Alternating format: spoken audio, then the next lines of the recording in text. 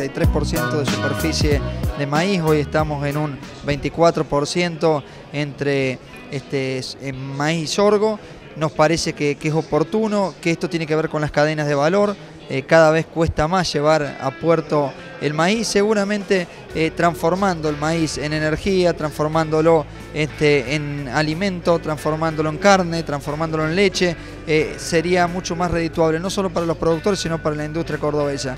En ese sentido vamos a presentar, eh, cuando estemos a, mitad de año, la segunda etapa del Maíz Córdoba, que comenzó en el año 2013, que dio resultado positivo, este año vamos a tener un año récord para la historia de Córdoba en cuanto a producción de maíz y que pretendemos siga creciendo en el tiempo que viene. Córdoba necesita incrementar 740.000 hectáreas más de maíz para que llegara al ideal.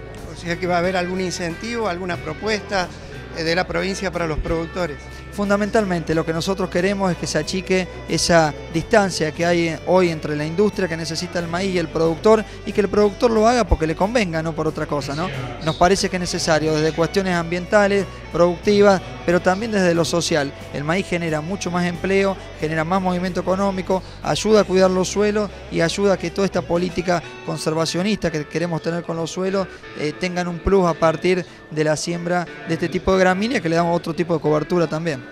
Bueno, la verdad eh, que el avance de la cosecha está lento porque venimos de un otoño, eh, de, una primavera muy seca, así que casi todo ha sido siembra tardía.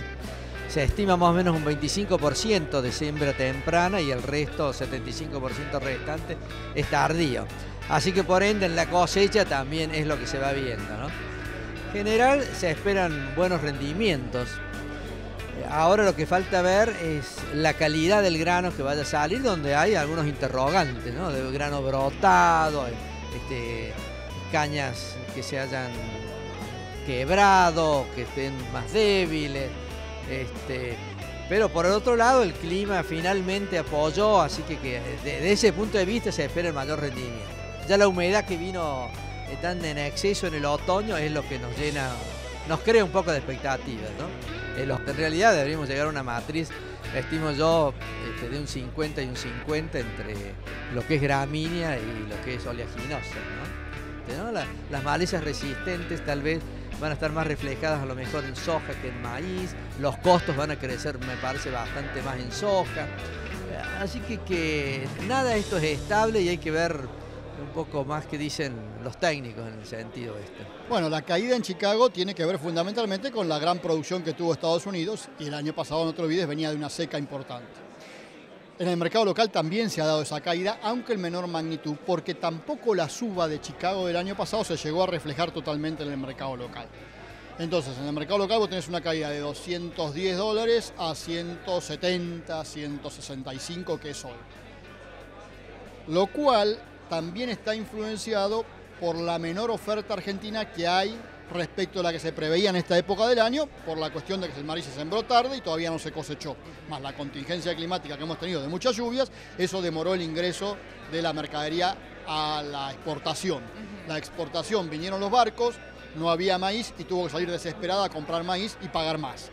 Ese es un elemento coyuntural, pero se está reflejando en el mercado local. Ahora, ¿Qué debería pasar en el mercado local en las próximas dos, tres semanas?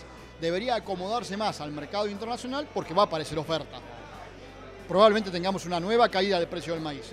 No muy importante, pero 5 o 10 dólares. Y ahí se acomodaría en paridad con el mercado internacional.